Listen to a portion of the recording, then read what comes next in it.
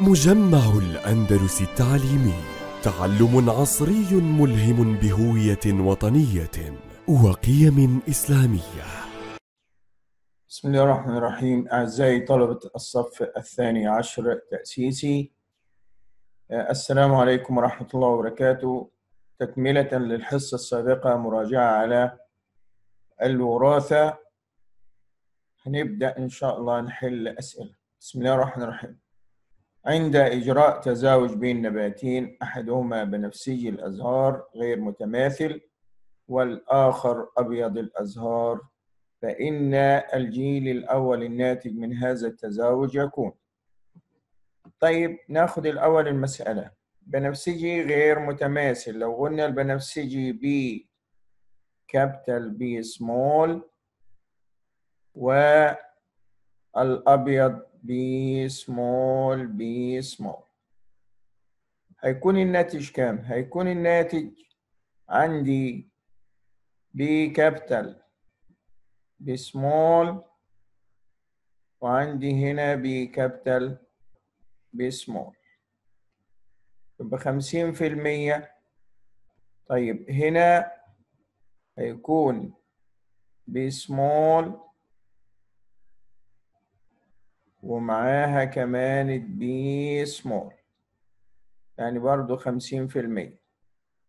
يبقى عندي هنا النسبة المتوقعة هتكون خمسين في المية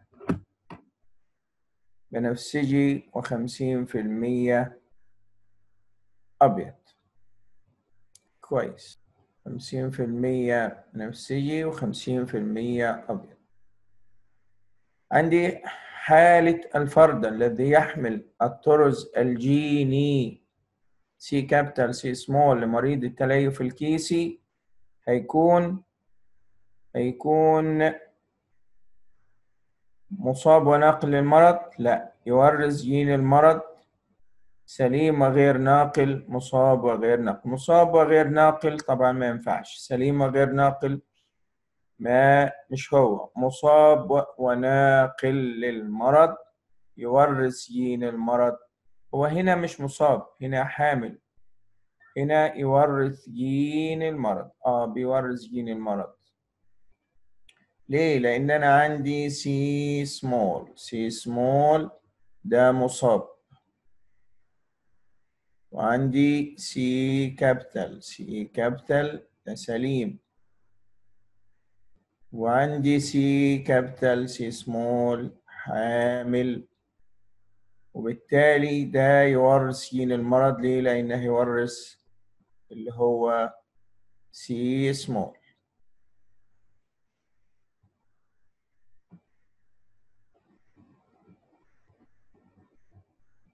طيب. يحدث تبادل بين قطع ال DNA بين الكروموسومات المتماثلة في الانقسام الميوزي خلال الطور. إحنا قلنا خلال أي طور؟ خلال الطور الانفصالي الأول. خلال الطور الانفصالي الأول. كويس. شوف السؤال اللي بعده. عندي هنا يؤدي حدوث عملية العبور إلى يؤدي إلى إيه؟ يا ترى إنتاج جينات جديدة إزالة جينات قديمة عدم وجود اختلاف بين أفراد العائلة الواحدة إعادة ترتيب الأليلات في الطرز الجينية. نعم هي إعادة ترتيب الأليلات في الطرز الجينية ممتاز. من أمثلة الصفات التي يعتمد ظهورها في الفرد على جنسه اللي هو نعم الصفات المرتبطة بالجنس مرض نزف الدم.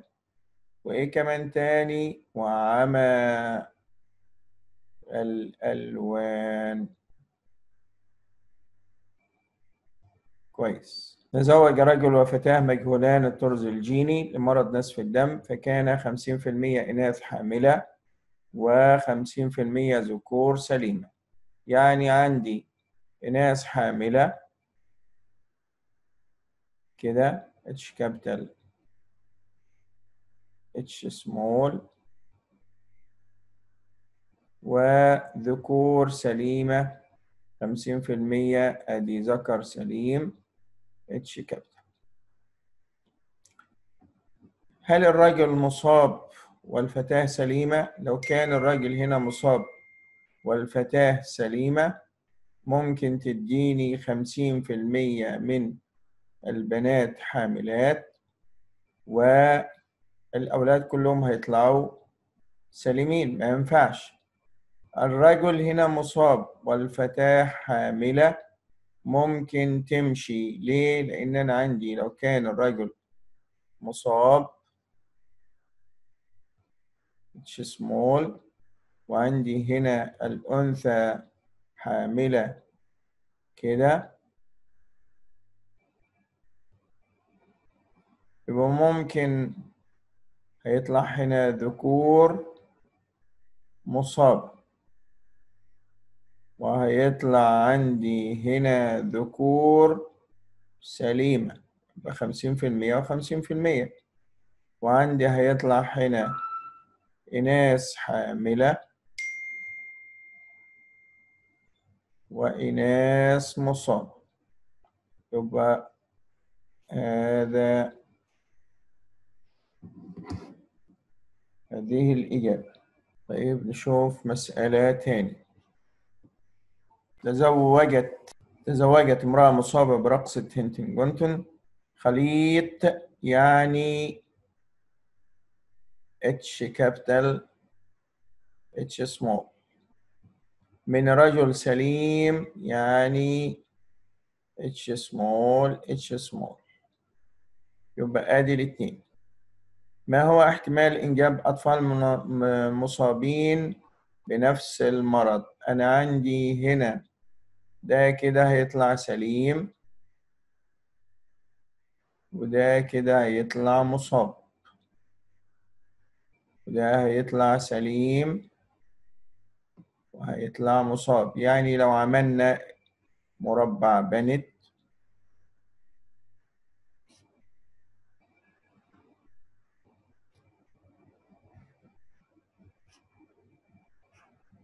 آدي اتش كابيتال اتش سمول هنا اتش سمول اتش سمول يبقى عندي هنا اتش كابيتال اتش سمول مصاب.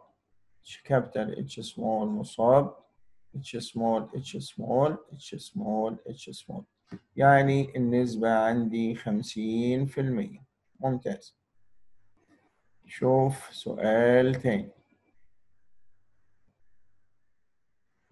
استطاع عالم الوراثة مورغان أن يثبت أن العوامل الوراثية هي الجينات وأنها أجزاء من الكروموسومات من خلال الأبحاث التي أجراها على صفة.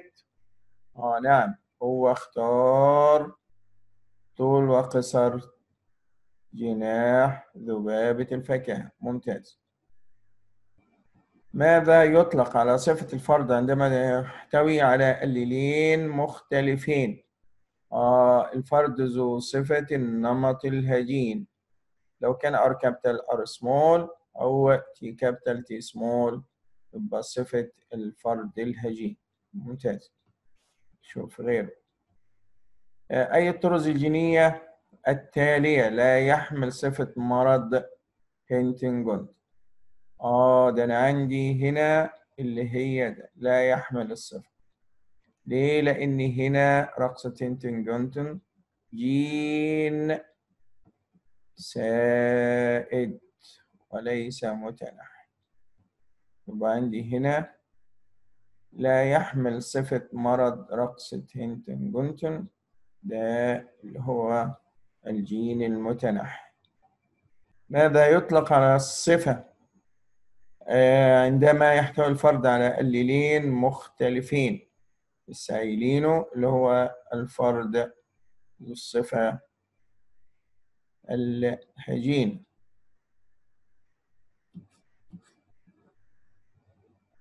أي الأجزاء التالية يتم خلالها عبور الجينات أثناء الانقسام الميوزي وعندي هنا الكروماتيدات الداخلية في نفس الكروموسوم. الكروماتيدات الخارجية. الكروماتيدات الداخلية في الكروموسومات المتقابلة مش في نفس الكروموسوم. يبقى سليم ممتاز. شوف غيره. إيه السؤال؟ بيقول تزوج رجل مجهول فصيلة الدم. إذا كانت فصيلة دم أمه AB وأبوه O من امرأة فصيلة دمها O أي من فصائل الدم لا يمكن أن يتواجد في الأبناء. نشوف. هو مراته كانت أو أو. وهو أصلا كان أبوه أو. وأمه اي بي. يبقى ممكن هو يكون اي أو. أو بي أو. طبعا أي من الأبناء لا يوجد طبعا هنا يبقى احتمال كبير إن لا ينتج هذه الفصيلة لا تنتج هذه الفصيلة. ليه؟ لأن أنا عندي لو أنا كان التزاوج بين A و O يبقى مش هينفع كل الفصائل O و A. لو كانت مثلا مع O مراته مع B اللي هو الرجل يبقى الناتج هيبقى يا إما B يا إما O. وبالتالي مفيش A B. ممتاز.